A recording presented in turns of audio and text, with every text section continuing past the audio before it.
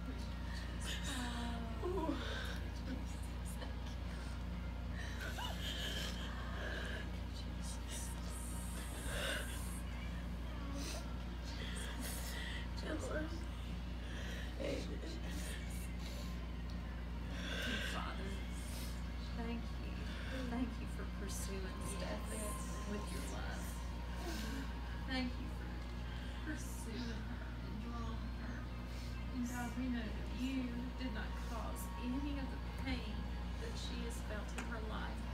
But God, you've used every bit of it because you are a, a gracious and loving Father who doesn't waste even our suffering. Thank God, you for telling me why. beautiful. You make something beautiful out of everything.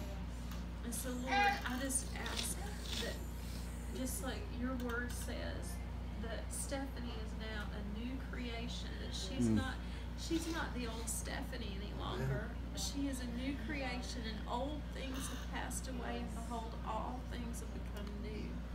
And Lord, I thank you that just like a butterfly steps out of that cocoon and spreads its beautiful wings, Lord, that that's what Stephanie is going to do, God.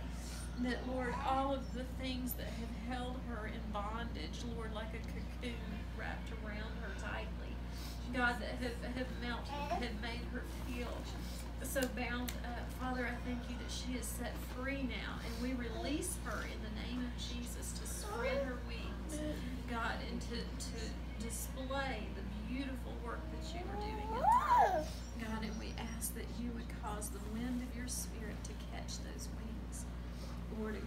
to soar above every circumstance. Father, I just pray right now that you just not not just save her, God, but fill her to overflowing with the power of your Holy Spirit, God. God, we just ask that you infill her with your Holy Spirit, God. Lord, that you just just fill her heart completely in the name of Jesus.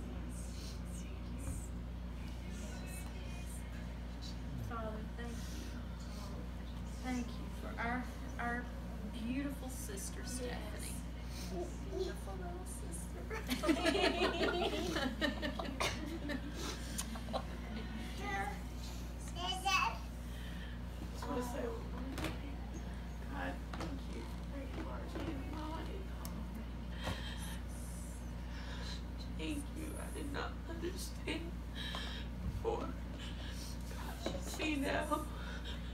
Thank you. Thank you. Thank you.